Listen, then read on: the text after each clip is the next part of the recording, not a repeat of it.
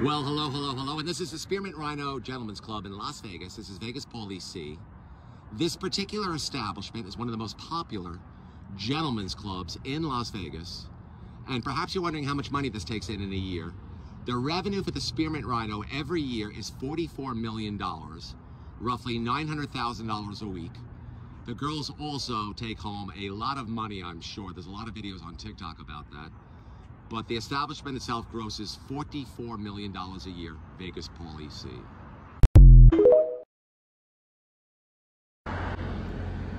Well, hello, hello, hello, it's Vegas Pauly C, and here is an update on the U2 show at the Sphere, which is right in front of me here in Las Vegas. Tickets have gone on sale. They are in the resale market right now for between $200 for the cheap seats to as much as $6,000 for the seats in the first couple of rows. They're opening on September 29th at the Sphere Las Vegas, Vegas Pauly C. Well, hello, hello, hello, it's Vegas Pauly C, and this is Planet 13, one of the biggest, most beautiful dispensaries in Las Vegas. But what a lot of people don't know is this is a publicly held company. You can actually buy stock in Planet 13. It's trading for 74 cents a share if you want to check it out. The market cap of this particular establishment is $159 million. So I guess the Marijuanicus over here is valued at $159 million by the stock market. It's Planet 13, Vegas Pauly C. Well, hello, hello, hello, it's Vegas Pauly C, and this is the Veer Towers, Las Vegas. One tower, the one in front, goes five degrees to the right, and the tower in the back goes five degrees to the left, which gives us 10 degrees on the eye and creates that tilt in both of them, even though they're each only five degrees one way or the other. It's the Veer Las Vegas. It's in City Center next to the Aria, Vegas Pauly C. Well, hello, hello, hello. It's Vegas Pauly C, and this is the paddock for the F1 race. It's going to be on November 18th at 10 p.m. It's going to start and finish over here on Koval and Harmon. It's a 3.8 mile race around the Las Vegas Strip, Vegas Pauly C. Well, hello, hello, hello, it's Vegas Pauly C, and this is the Cosmopolitan, which was recently sold for $4 billion to MGM Grand. You all know that. But originally it was developed by a gentleman by the name of Ian Bruce Eichner from Miami. He borrowed a billion dollars from Deutsche Bank and defaulted on the loan, and Deutsche Bank had a choice to make. Do they finish the property or do they walk away from the billion dollars? I will never understand why they did this, and I remember at the time when they did it, but they decided to finish the project. So instead of losing $1 billion, they finished the project for $4 billion, sold it for $1.7 billion, and lost $2 billion. If you're following that, I hope you are. But this is the story of how a German bank lost $2 billion on the Cosmopolitan before it even was sold to MGM Grand Vegas C. Well, hello, hello, hello. It's Vegas Pauly C, and this is the beautiful Palazzo right here, the Palazzo Venetian. I'm going to do a 10-minute real-time walkthrough through the Venetian Palazzo, hitting some of the hot spots that I know of. I do not use editing for the most part, so this will be a real-time walkthrough. This is one of my top three properties in Las Vegas, and hopefully you'll enjoy this. I did it at the Wynn, and it came out uh, very good. Let's do it over here at the Venetian Palazzo. This entry right here is from the Palazzo side.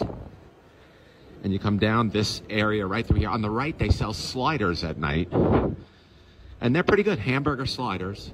They're basically like gourmet White Castles. Uh, and we're coming now into the casino. This is the Palazzo section of the casino. And the corner that I came in from was Sands and the Strip.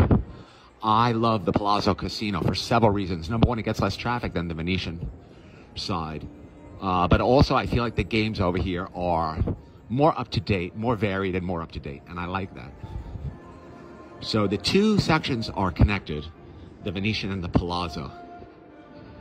I really love this property. This is the place to stay, especially if the weather is inclement, and I'm going to tell you why. There's so many things to do here on the inside. This is the check-in for the Palazzo. There's so many things to do on the inside and you can walk back and forth between the Venetian and Palazzo all day long.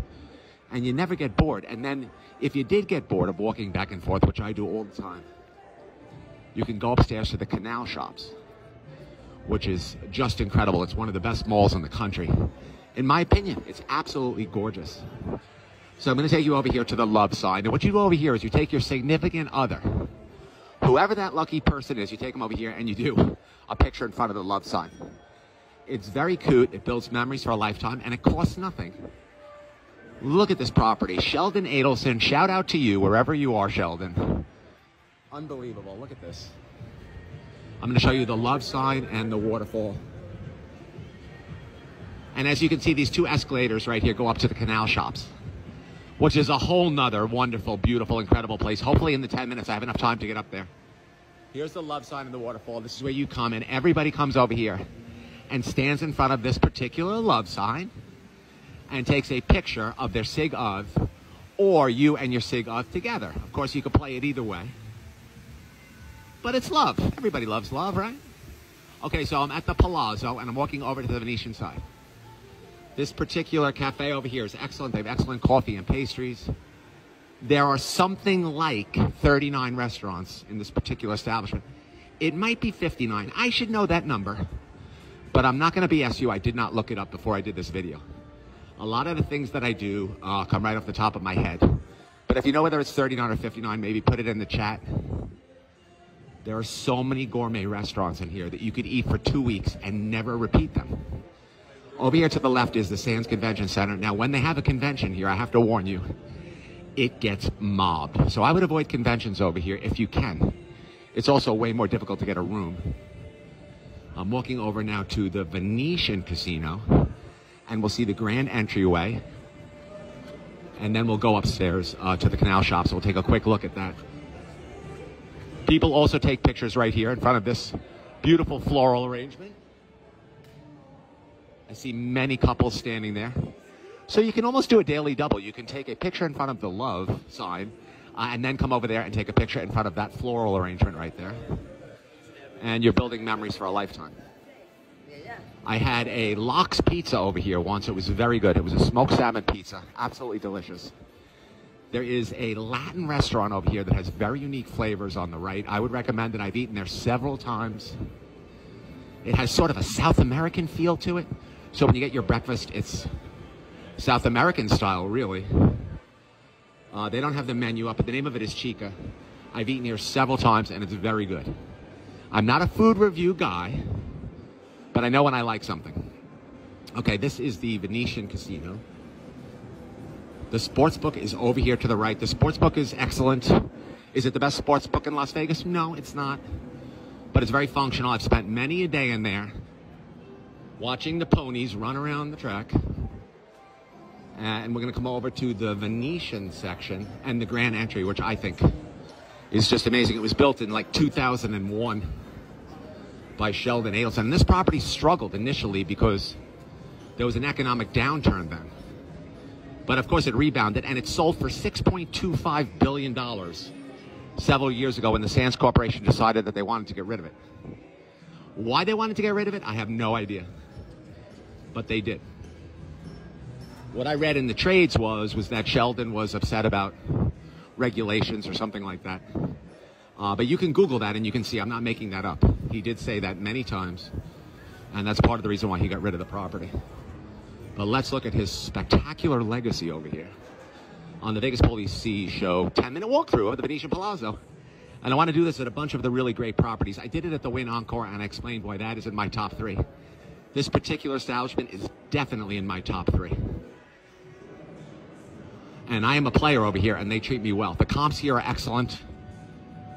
And if you have some money, but not too much money, this is a place to play. I feel at the Wynn Encore, it's a little bit out of my range. Look at this hallway right here. Isn't this glorious? I'm going to walk outside in front of the property to show you the front. The front is just spectacular. And then hopefully you have time to get up to the canal shops. This is the main entryway, the main lobby for the Venetian section of the hotel. You have to look at it like two islands connected by this walkway I just walked through. The Venetian is on the right and the Palazzo is on the left. And this particular property has 7,000 rooms, which makes it the second largest hotel in the world. The first one being Genting Highlands in Malaysia, which I think has 7,300 rooms. This is the Porte Cochere. I always say that word wrong, uh, but that's how I know how to say it. And as you can see, I'm coming around now to the outside. And this area in the front, when you look up, you see basically all of Venice. There's so much to do here. If you're coming for three or four days to Vegas, you honestly never have to leave this property. I'm not kidding. You could spend every dollar you have in here. There is a beautiful garden uh, on the 10th floor of the Venezia Tower. We're not going to get to that right now. I'll do a separate video of that. And that's where Bouchon Restaurant is. And I had many a glorious romantic meal there with little Mahi. She's so cute. Uh, but let's go around to the front there. There is, I think that's called the Doge's Palace or something like that. I should know that, but I'm not going to lie to you. But I think it's D O G E. Uh, here's the front. And of course, they have the rides in the gondola over here uh, and inside. So I guess if it's hot out, you go inside. There's two separate gondola areas. There's outside here where you're exposed to the elements, but they also had uh, the incredible foresight to put the gondola rides on the inside, the second floor, where the canal shops are. So they have an inside gondola ride. How they retain that much water, I have no idea. That must be some engineering marvel to retain enough water to be in canals on the second floor of a hotel. Can you imagine? Here's an outside view.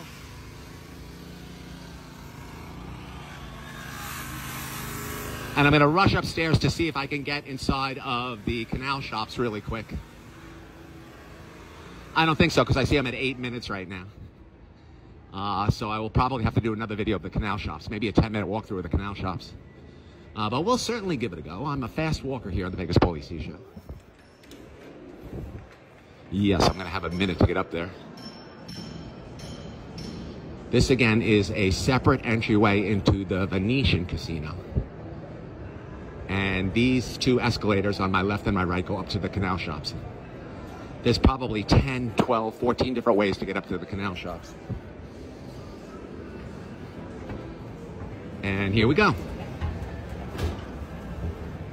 Look at this ceiling.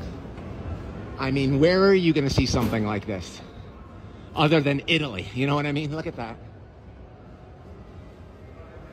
I mean, that is just spectacular. My goodness, I love Las Vegas. Wow.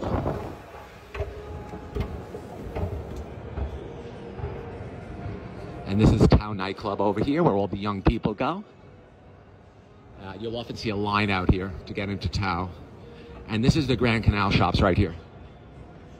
I'll have to do a separate video of this because 10 minutes in Vegas goes by in a heartbeat, doesn't it? Vegas Pauly C.